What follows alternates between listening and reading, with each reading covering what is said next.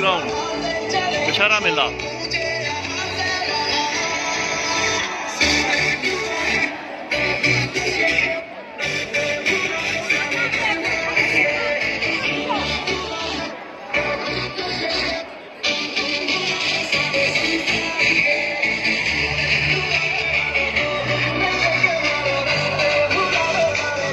और पास दिखाते हैं आपको